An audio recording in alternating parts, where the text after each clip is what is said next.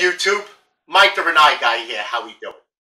All right, today we have the first video of that unboxing that I did the last few videos ago um, of the three things that we got from Rinnai. And the first video here is going to be the condensate neutralizer.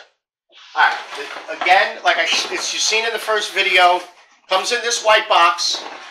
Alrighty, it is the it's a condensate neutralizer. Again, all the parts prices will be in the description below, but it's an 804 000074 condensate neutralizer kit. And I'm also going to include the refill kit for the marble chips. All right, what comes with this is your actual neutralizer, two clip-on wall brackets. You get this male adapter, but it's right now it's simulating the bottom of the tankless, but we're going to go over and show you what it actually looks like. It comes with a double female adapter. Then it comes with one, two, three, which is half inch male by half inch barb. It comes with a bunch of these little um, little clips to make yourself what I, I we didn't put one there so you could show you, but they give you enough for every joint. It comes with this tubing, about 10 feet of it, and it also comes with a three quarter by half PVC adapter, all in this box. This is directional, and if you notice, I'm going to spin this a little bit, you have a, the Rinnai label here.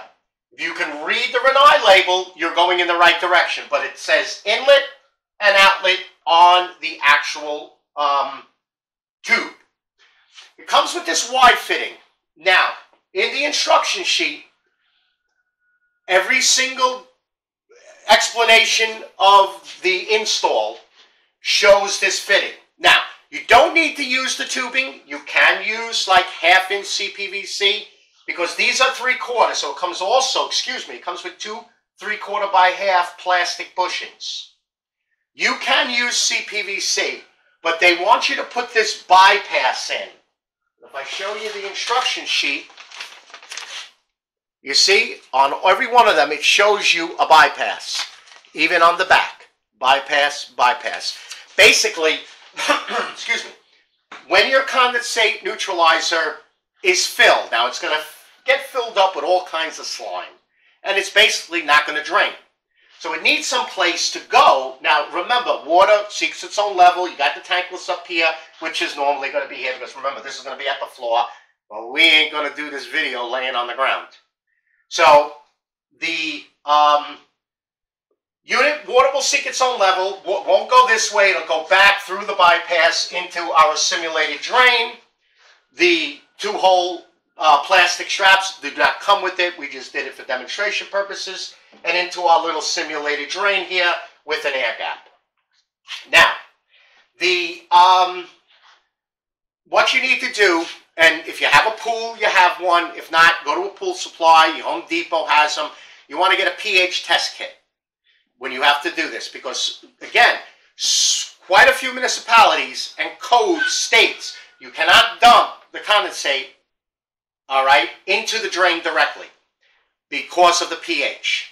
So you want to test what's coming out of here. Now on your RU or your RUC or your RUR or your new Senseis, these things condensate a lot.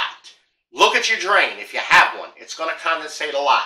So when this is going to get filled up, probably in about a year, it's going to take but it also depends on how often you're using the unit. So you need to test the pH coming out of this to know when to swap out the uh, pellets in there. And again, the refill kit will be in the description below with a price. I think it's like 22 bucks. Um, I think this is around $62 and the refill kit's around $22 because um, these will unscrew, dump them, clean out the inside. I would suggest doing it with like like a Fantastik or a Windex. You know, shove paper towels in there, clean it out, and then put your one end on, fill up your, your uh, now what I would also suggest is to keep these, keep the little plastic plugs, because you want to plug off one end so you're not running out, you know, you're not running the pieces out of the other side. All right, so now you have your drain.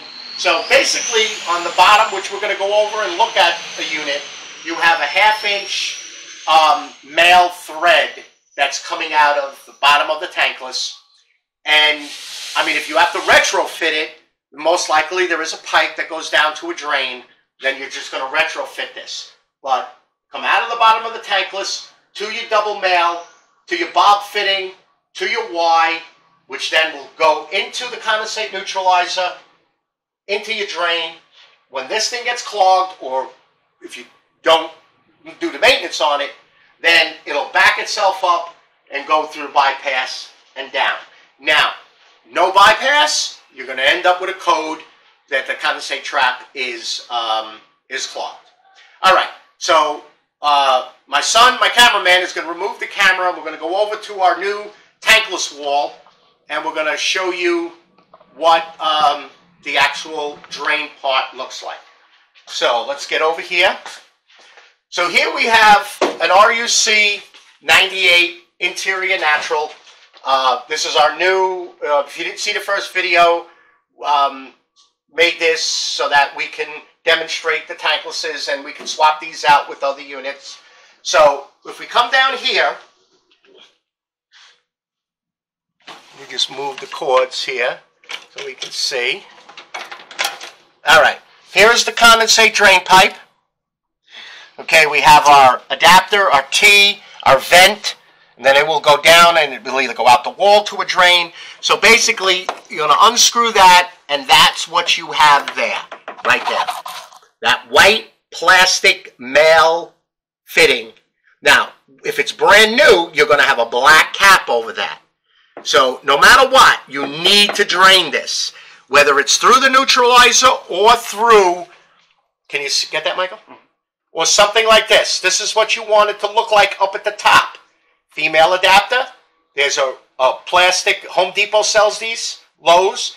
There's a washer in there, a two inch piece, a T, a street L, another two inch piece. This is a vent. You can vapor lock this with a straight pipe even if it's going outside into dirt. This is going to be used for an interior unit and an exterior unit. Both of them are exactly the same.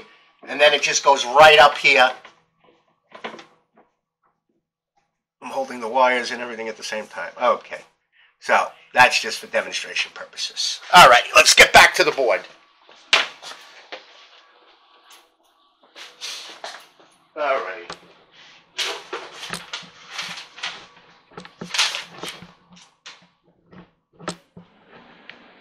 Just hold it, Michael. All right, even if you have a Rinnai boiler, so a heating boiler, it's the same thing. All of them are condensing. So this could be used in any of Rinnai's condensing tanklesses. All right, so again, everything will be in the description below, pricing, and including the refill kit.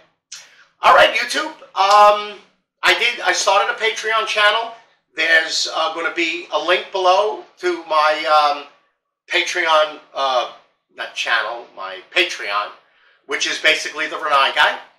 And um, I hope we're all safe out there with this pandemic going around. Um, I hope you contractors are still working. And uh, all right, again, thank you for all the likes, the subscribes, the comments, the questions, your emails. Again, my email will be below. If you have a question, just email me. If I can't answer it through an email, I will send you my phone number and we'll go over it. All right, YouTube? You all be safe out there, and I'll see you on the next video. Bye-bye now.